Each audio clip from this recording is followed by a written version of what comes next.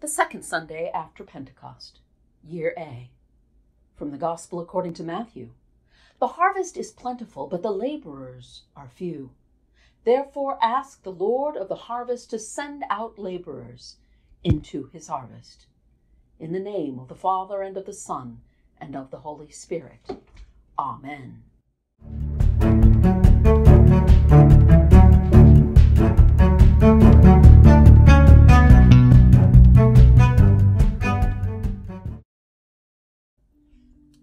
Of change going on right now.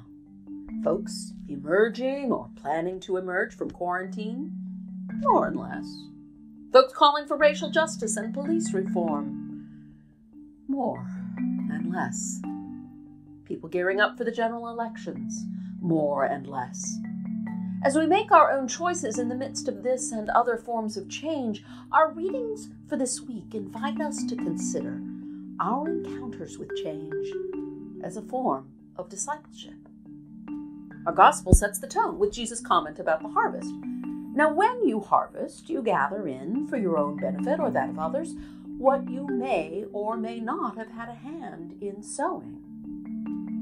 Afterwards, Jesus sends the disciples out, and his instructions are to take things as they come, confident that God will be with them. Sarah's laughter reveals to us just how hard it can be to follow those instructions. Disappointed and scorned for years as childless, she is asked to believe that she will be a mother. I imagine her laughter is bitter.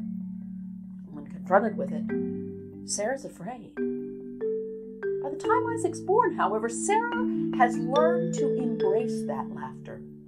She has learned, in the words of Paul to the Romans, to boast in her sufferings, knowing that her suffering produced endurance, and endurance character, and character the hope that does not disappoint. Because the God she had hidden from in fear did indeed pour out love into her heart. This transformation from bitterness to hope and even to delight this is the pathway of discipleship. This is what it means to lift up the cup of salvation, no matter what that cup may hold. We call upon the name of the Lord to bless that cup to our good. Let us therefore embrace that transformation in the midst of the changes in our world, even or especially in the midst of the changes that are painful, justified by our faith in the God who pours out love into our hearts as the Father, the Son, and the Holy Spirit. Amen.